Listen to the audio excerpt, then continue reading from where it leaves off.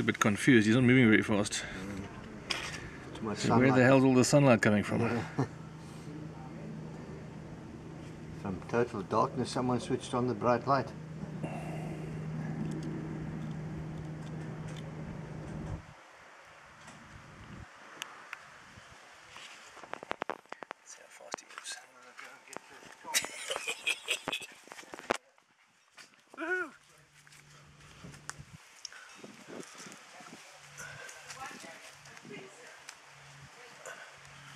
That's better.